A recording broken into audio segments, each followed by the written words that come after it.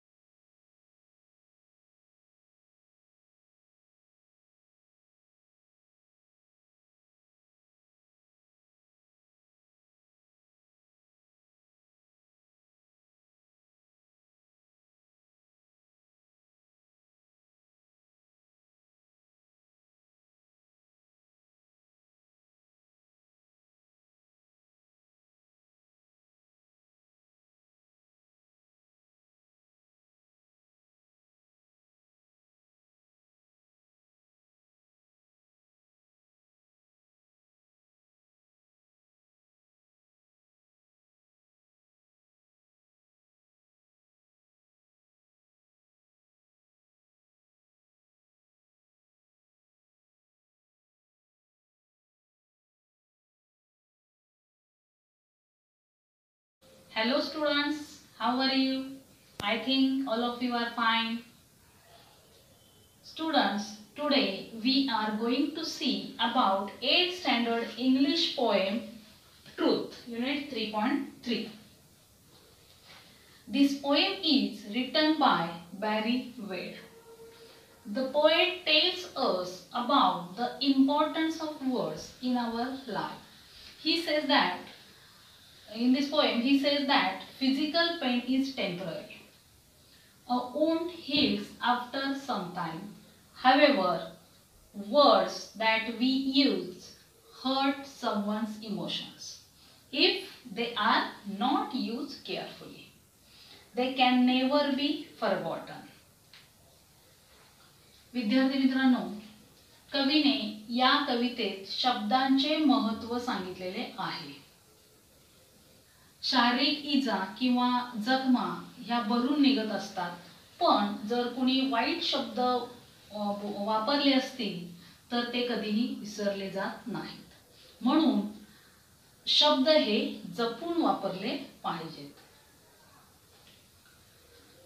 First of all we read this poem after that we discuss about detail meaning of this poem आता विद्यार्थी मित्रांनो आता आपण कविता वाचन करूया.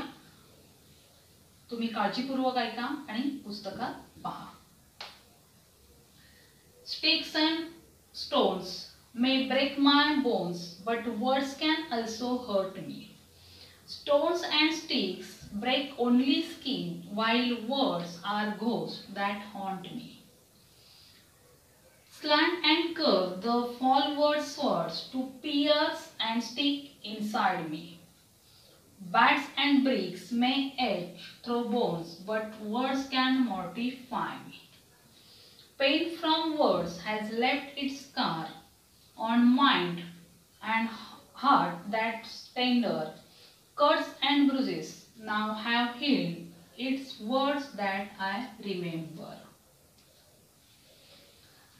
Now, in this poem, there are three stanzas. So, let's see which new words are given in this poem.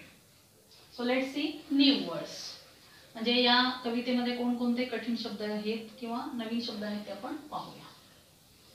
First word haunt haunt means trouble worry again and again म्हणजेच आपण त्याला झपाटणे असं म्हणू. Slant slant means slope to one side तिरकस दृष्टिकोन pierce pierce means to stab म्हणजे भेदून जाणे. Mortify mortify means make one feel ashamed and embarrassed म्हणजेच भावना दुखावणे.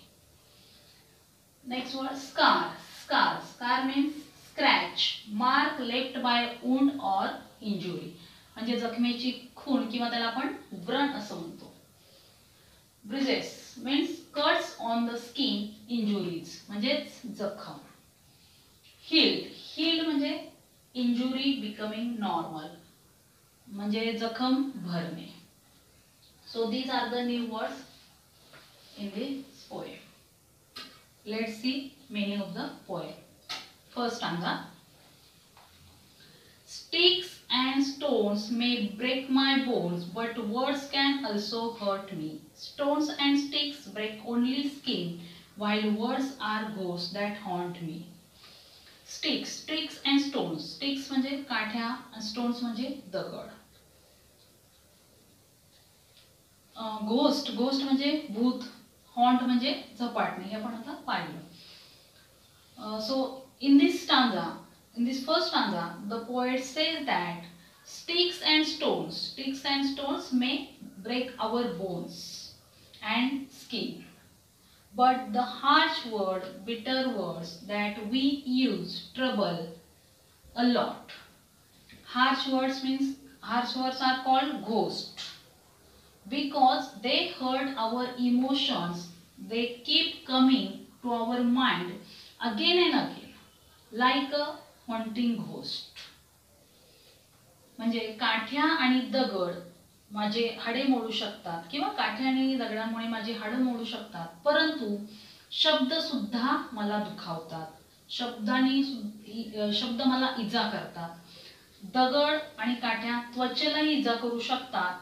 पण शब्द जे आहेत ते भूतासारखे भेडसावतात पिछा करतात भूतासारखे झपाटतात. म्हणजे शब्द वारंवार काय होतात? मनामध्ये येतात आणि ते इजा करतात.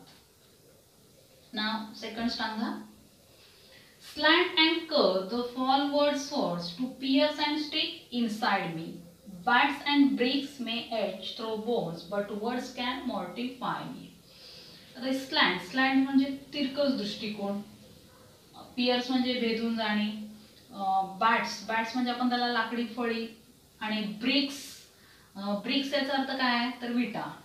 मॉर्टिफाय म्हणजे काय? तर भावना दुखावणे.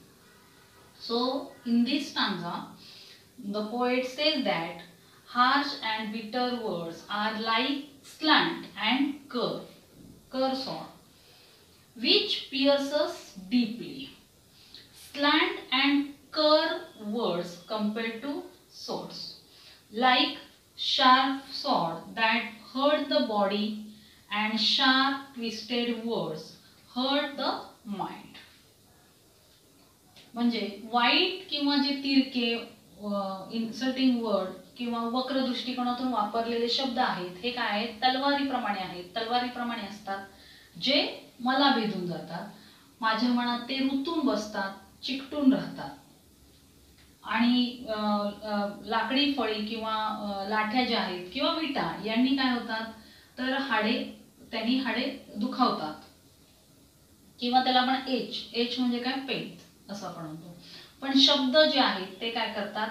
माझा पाण उतारा करतात किंवा माझ्या भावना दुखावतात. म्हणजे शब्दांनी भावना दुखावल्या जातात किंवा शब्दांनी पाण उतारा होतो.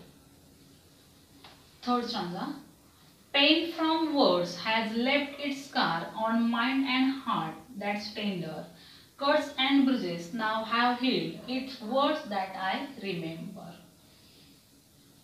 pain from words has left it scar. Scar म्हणजे व्रण. आणि ब्रुसेस म्हणजे जखम किंवा इजा. So in this third stanza the poet says that painful words harsh words hurt our mind and heart which last for long time. They leave their scars on tender mind and heart. म्हणजे शब्द जे आहेत ते शब्द किंवा त्या शब्दांचे जे शब्दांच्या गावाचे जे व्रण आहेत ते मना मनावर आणि हृदयावर तसेच राहिले आहेत. मात्र जे कापलेल्या जखमा किंवा जे घाव आहे ते भरून निघालेले आहेत. पण जे शब्द आहेत ते शब्द अजूनही माझ्या स्मरणात आहेत. किंवा ते शब्द अजूनही लक्षात राहिलेले आहेत ते विसरले विसरलेले नाहीत. म्हणून विद्यार्थी मित्रांनो शब्द हे दुसऱ्यांचे मन दुखावणार नाही किंवा त्याने त्याच्याने दुसऱ्यांना इजा होणार नाही असे शब्द वापरले पाहिजेत. We should take care of using proper words while speaking because words once spoken cannot be taken back or cancel so always we should take care while speaking आपले हक्काचे मराठी चॅनल रायगड ओवी न्यूज चॅनल सदैव आपल्यासोबत रायगड ओवी news channel नेहमी पाहत रहा like करा सबस्क्राईब करा आणि बेल आयकनवर क्लिक करायला विसरू नका.